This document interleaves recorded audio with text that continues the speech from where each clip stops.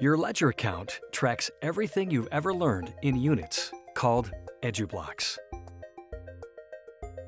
Each EduBlock represents one hour of learning in a particular subject. Anyone can grant EduBlocks to anyone else. You can earn EduBlocks from a formal institution like a school or your workplace. But you can also earn them from individuals or informal groups like a community center or an app. The Ledger makes it possible for you to get credit for learning that happens anywhere, even when you're just doing the things you love. Your profile displays all the EduBlocks you've earned. Employers can use this information to offer you a job or a gig that matches your skills. We'll keep track of all the income your skills generate and use that data to provide feedback on your courses.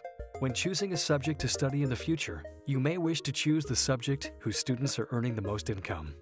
You can also use the ledger to find investors in your education. Since the ledger is already tracking income earned from each EduBlock, you can offer investors a percentage of your future income in exchange for free learning hours. Our smart contracts make these agreements easy to manage and administer.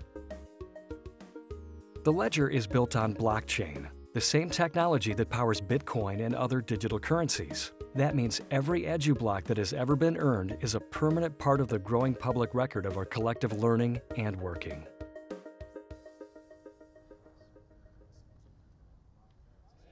Always learning, always earning. That's my motto. I try to learn something new every month, but it ain't easy.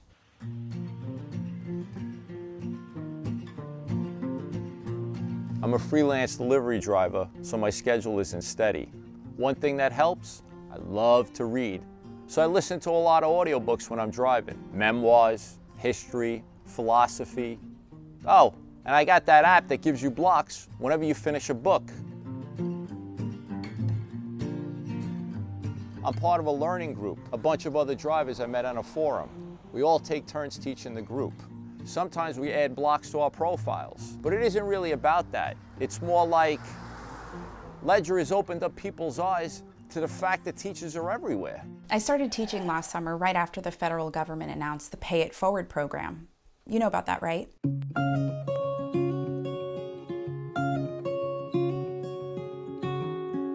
If you have federal student loans from college, you can pay them down by teaching someone else what you learned. Whatever blocks you earned in school, you can teach them to others. The University of Texas, that's where I did my degree, they report all my college credits directly into the ledger, so I'm pre-approved to teach any subject I passed. Like virtual reality programming. If I can teach someone that course, I get $2,500 off my debt.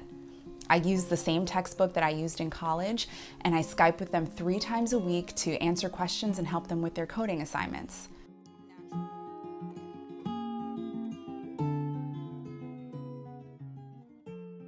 Sooner or later, most people find themselves at a point in their learning where they need to make a decision. Do you go for the traditional college degree or build your own higher education?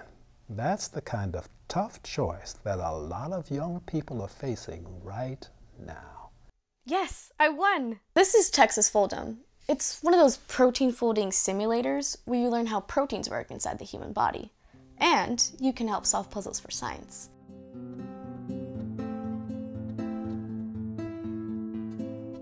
Every time you solve a puzzle, you earn this biochemistry EduBlock, and the better you get at it, the harder the puzzles get. Well, I guess I got pretty good at protein folding because one day this trophy showed up and they started giving me super hard puzzles working on these mind-blowing structures that even the real scientists haven't figured out yet. But wait a minute.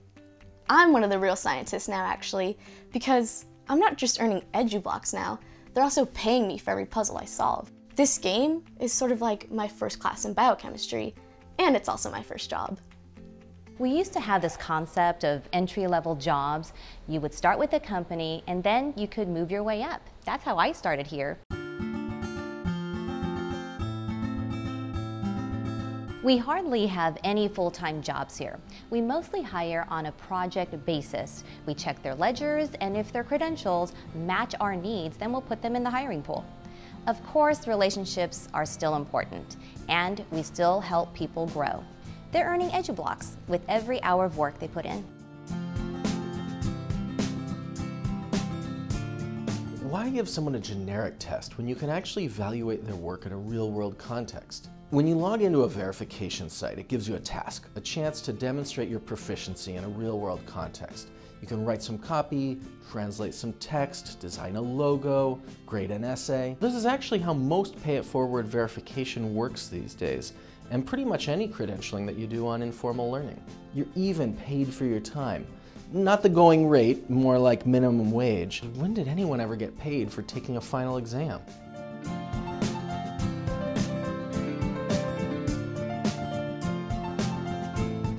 Project we hire for, we don't just list the monetary compensation. We also list exactly how many EduBlocks in which skill areas we'll grant you. That way, your work here counts as learning for your next gig.